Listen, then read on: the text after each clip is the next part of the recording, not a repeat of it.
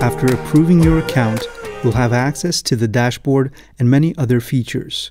You can either use this quick link to start a new campaign, or you can look through the general information and stats that go across your whole account. If you've already sent a campaign, this is the first thing you'll see on your screen.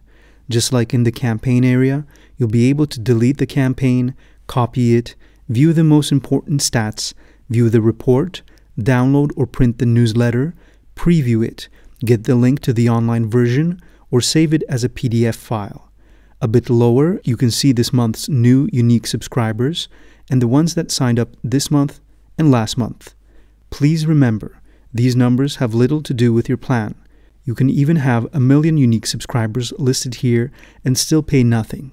On the other hand, if you delete all of your subscribers but already sent to a thousand of them, you won't be able to send more newsletters to any new subscribers beyond that thousand. The most important limit connected with your subscribers is shown here. This includes all the subscribers you've sent to. They will be counted here even if they unsubscribed, bounced, or got deleted. This number might be gradually reduced depending on your sendings. The oldest unused emails are subtracted from this number in about a two month period. And here's how many emails you've sent in the last 30 days. Next, you can see your monthly subscriber growth.